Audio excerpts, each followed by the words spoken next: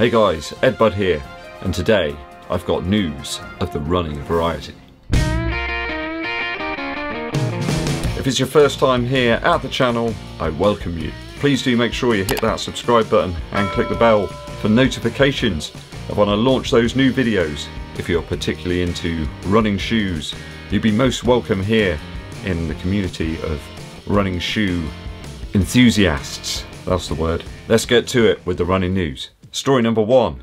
On Running are set to release their new subscription-based running shoe. This one's going to set you back £25 initially to get you into the subscription service. The Cyclon is the shoe that you will never own, say on running anyway. It's a bit like those PlayStation 5 digital versions that have come out recently where you will sort of buy a license to play the game I suppose or at least to own a copy of the game. I guess these shoes won't really be yours as such because when they run out you can simply send them back to On Running and they'll recycle them and send you more. I believe that the shoes, part of the shoe at least, is made of castor beans which are extremely easy to grind up and recycle and create new midsoles out of. I think it's quite a unique variation on the subscription service actually, a recyclable shoe. Sign-ups and pre-orders are available on their website right now I will post a link in the description so you can go and check that out if it's your bag. It's not a bad looking running shoe, quite futuristic. Reminds me a little bit of those uh, Deus Ex games that used to be out on the PC and consoles. Slightly cyberpunk looking sort of thing. Very simple design, minimalist. I think the £25 payment covers your first month on the subscription service, but at present I believe that gets you into their notification scheme and they'll provide you with developments as to when the shoes could be available. Saving the world one shoe at a time. Story 2. The Atreyu Running Company now have pre-sales up for their The Artist carbon plate running shoe. It's 100 big ones to get yourself a pre-sale pair of The Artist but I think they've got to hit 5,000 sales first before they put the order in.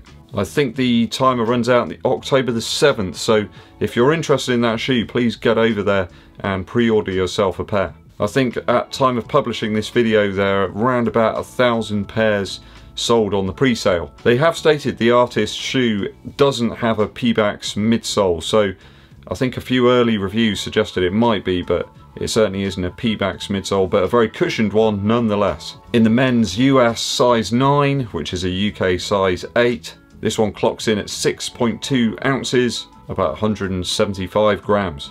There's a 35mm stack in the heel on this one, around about a 6mm drop. So ideal for tempo based stuff. Possibly some racing I guess at that sort of level of lightness. A level of lightness? Low weight. I think that's what I was trying to get at. Atreyu running companies state that the upper on this one is the same as their base level model. I think that will be great for a lot of people. They seem to really enjoy the upper on that shoe. They're looking to have these ready for spring 2021. That seems like a, a long way away right now. Busy at work right now. It's crazy. Business intelligence is what I'm into right now. It's good stuff. Do check out the delivery options here though on the pre-sale. I do believe some people over in Australia did try to purchase them but they were unable to. Some issue with the delivery location so it might be that you're not able to deliver them to your specific country. I might be completely wrong but when I've tried to do it it looks fine so. A very interesting shoe from a very interesting company.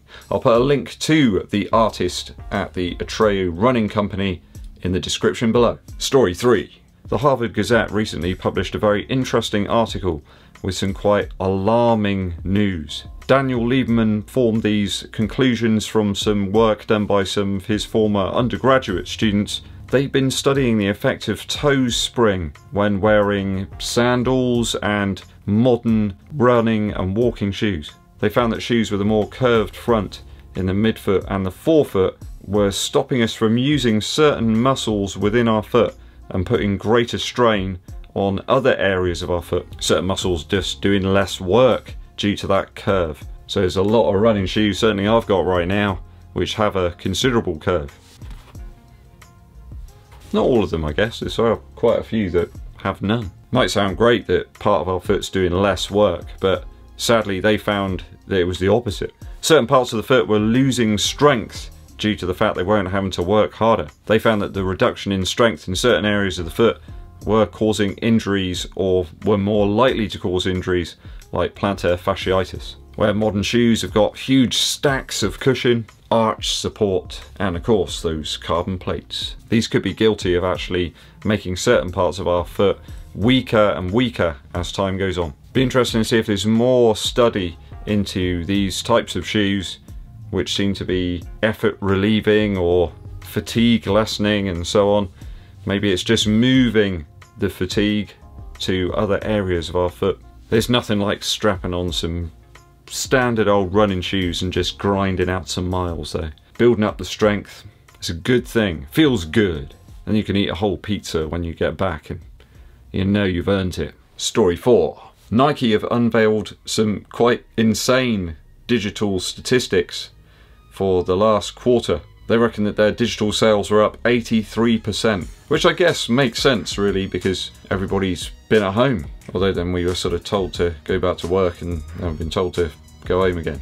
Who knows? They reckon it's triple growth actually in certain areas. I think most of it's from launching those new products online. They've become masters at doing that and selling out of stuff very quickly.